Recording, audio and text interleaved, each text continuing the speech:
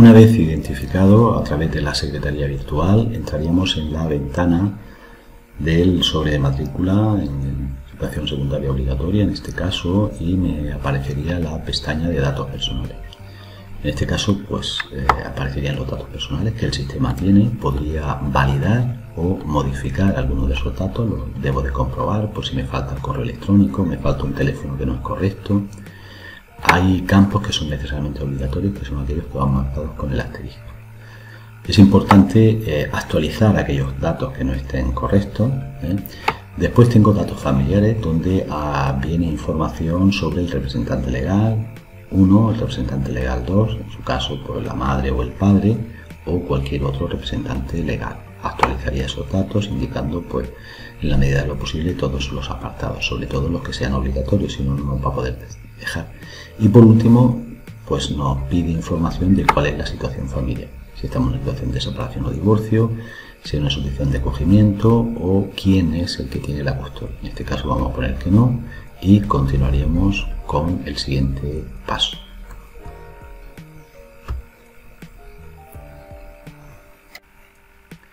Una vez eh, guardados los datos personales y si hemos hecho algún cambio pasaríamos a la ventana de los datos de solicito. Aquí entraríamos a los impresos que lleva el sobre de matrícula electrónico. Estos impresos aparecen pues, catalogados, por un lado impresos, por otro lado si son obligatorios, si tengo que rellenar y por otro lado su estado, si están rellenados o no. Además, en este caso pueden aparecer algunas indicaciones como por ejemplo tenemos aquí las directrices o alguna información acerca de cómo rellenar sobre matrícula, por ejemplo itinerarios y demás, e información para inscribir al alumnado en el AMPA, en la Asociación de Madres y Padres del Centro. Eh, al igual que los documentos de matrícula, hay otra serie de documentos que en este caso dicen que no son obligatorios, como pueden ser el servicio de aula, comedor o incluso transporte. En el caso de que quiera solicitarlo, lo rellenaría. En cada uno de los apartados me encuentro un botón de rellenar ese apartado. Por último me encontraría autorizaciones, que en este caso sí es obligatorio, y además el pago del seguro escolar, que lo puedo pagar ahora o bien lo puedo pagar eh, posteriormente desde la Secretaría Virtual en pago de seguro escolar. En este caso ahí me pediría una serie de datos, al final unos datos bancarios como la tarjeta bancaria para poder proceder a realizar el pago del seguro escolar. Bueno, viendo ya la estructura de los impresos a rellenar, vamos a rellenar el impreso de matrícula ¿eh? de, de, un alumnado de cuarto de ESO. En este caso es obligatorio, no está relleno y le damos al botón de rellenar. Al entrar en el botón de rellenar, pues nos salen los datos de matrícula, los datos del centro que ya vienen guardados, centro, nuestro centro y de Fuente Nueva, y en este caso se va a matricular un alumnado de cuarto de ESO. Es importante decir que aquellos alumnos que no hayan aprobado cuarto de la ESO en junio, es conveniente que realicen dos sobres de matrícula un sobre de matrícula de cuarto de la ESO en el caso de que en septiembre repitan y además un sobre de matrícula de primero de bachillerato en el caso de que estos alumnos quieran continuar eh, estudios en primero de bachillerato. En el caso de que no vayan a estudiar primero de bachillerato, no lo hagan. De esta manera, en septiembre se consolidará o bien el sobre de matrícula de cuarto de la ESO o bien el sobre de matrícula de primero de bachillerato en el caso de que apruebe o no apruebe. En el caso de no estudiar primero de bachillerato, que son sus ideas, no hace falta, solo haría falta hacer el sobre de matrícula, eh, en su caso de cuarto de la ESO, si piensa que va a repetir. Y si no, pues evidentemente si ha aprobado y no quiere seguir estudios, pues no lo rellenaría. Eh, en el siguiente apartado mm, tenemos que elegir los dos itinerarios que se ofertan en cuarto de la ESO. Uno será el itinerario de cuarto de ESO, enseñanzas académicas, para alumnos que tienen intenciones de hacer bachillerato y el itinerario de cuarto de ESO enseñanzas aplicadas para aquellos alumnos que tienen intenciones de estudiar pues, un ciclo formativo o terminar sus estudios y dedicarse al mundo laboral. Eh, elegimos el itinerario que vamos a hacer, en este caso elegimos el itinerario de enseñanzas académicas, el otro itinerario ya se me bloquea y sigo por debajo del formulario Dentro del itinerario tengo que elegir pues, dos materias en orden de preferencia. Lógicamente en este itinerario debo elegir o bien que quiero estudiar eh, ciencias, o bien que quiero estudiar ciencias sociales, o bien que quiero estudiar eh, bachillerato eh, de humanidades. Son los itinerarios que se proponen. Pues en función de uno u otro vamos a elegir las troncales. En este caso vamos a elegir, por ejemplo, biología y geología y física y química. Y por defecto hay una asignatura específica obligatoria para todas las opciones, en este caso es bachillerato, eh, perdón, educación física y valores éticos. Continuamos para abajo y elegimos de todas las asignaturas que se nos proponen las asignaturas de libre configuración.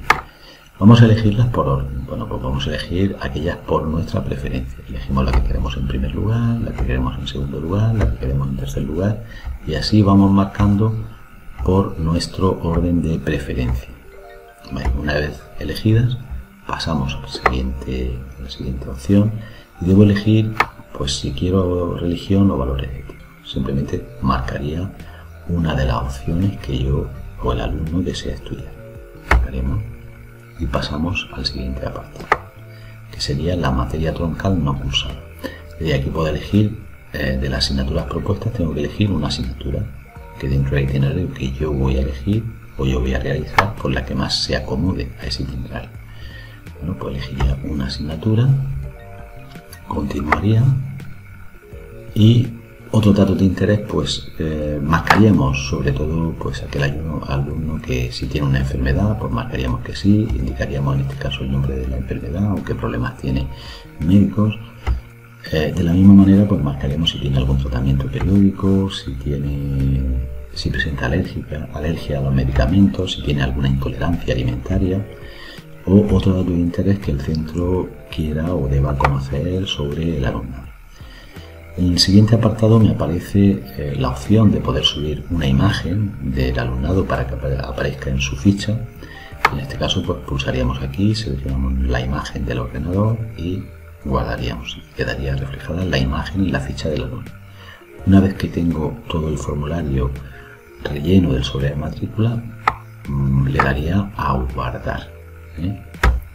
Le daría a guardar y volveríamos a la pantalla anterior de los impresos donde ya me aparece que este formulario está relleno. De la misma manera entraría en el siguiente formulario que es autorizaciones que debería rellenar.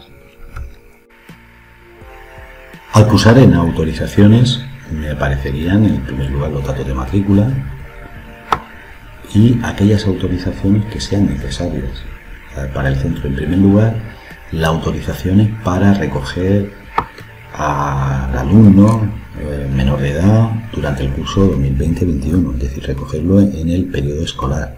El alumno no puede salir del centro si no es con un mayor, y en este caso la familia indica qué persona, normalmente el padre y la madre, y si no puede, indica a cualquier otra persona que pueda recoger a su hijo. Introduciríamos los nombres de las personas una vez validados e introducidos las personas autorizadas, puedo seguir añadiendo a personas autorizadas dándole al botón más. Aquí pondría otra persona, aquí puedo poner el padre, la madre o algún familiar que pueda retirar o recoger al alumno en dentro del periodo lectivo. Bueno, puedo añadir y también puedo eliminar. Bien, una vez realizada o introducido los datos de las personas autorizadas, también voy a marcar pues la autorización, en su caso no, si la familia no desea, de el uso de imagen y voz. En este caso, pues marcamos en autorizar y una vez que los datos están rellenos, le daríamos a guardar. Una vez guardados los datos de autorizaciones, ya nos encontramos que todos los impresos obligatorios están rellenos.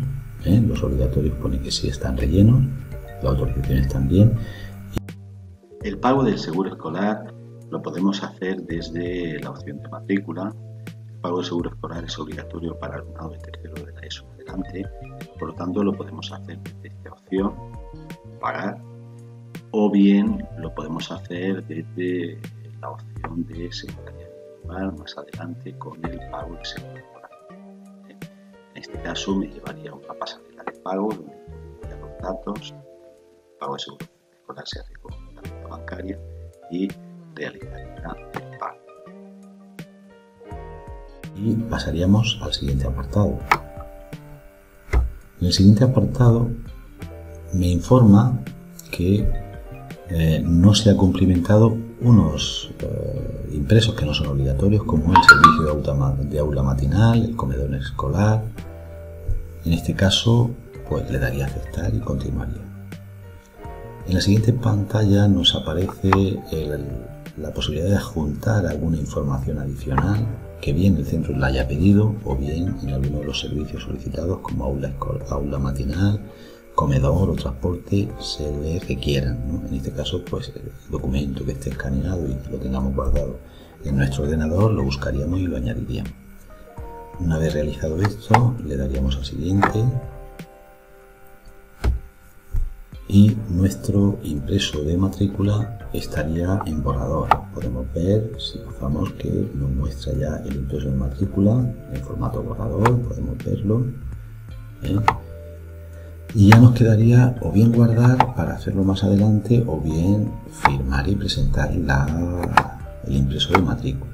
Para firmar el impreso de matrícula el procedimiento es que al darle el botón de firmar me aparecerá que introduzcamos nuestro número de teléfono y una vez introducido el número de teléfono eh, y, al darle a enviar nos pedirá que le metamos, le introduzcamos el código que hemos recibido a través de un mensaje SMS a ese número de teléfono y ese sería la firma eh, del impreso de matrícula. Ese sería el procedimiento. Al darle a firmar ya nos está pidiendo que introduzcamos ahí el número de teléfono. Al introducir el número de teléfono y darle a aceptar, ya nos pide que introduzcamos la clave SMS. Al introducir la clave SMS que hemos recibido en nuestro móvil, le daríamos a firmar. Y con esto acabaría la presentación de nuestro sobre de matrícula eh, electrónica ¿eh? y podemos descargar el impreso de solicitud. Con esto habríamos concluido. Faltaría lo único es el pago del seguro escolar si no lo hemos hecho ya directamente desde el impreso.